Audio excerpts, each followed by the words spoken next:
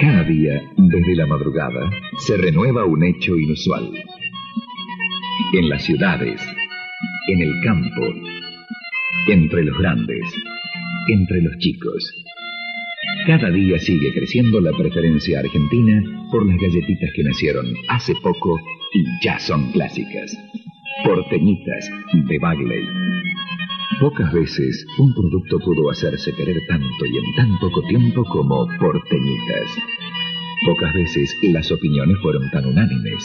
Porteñitas, como Bagley quería, pero más ricas todavía.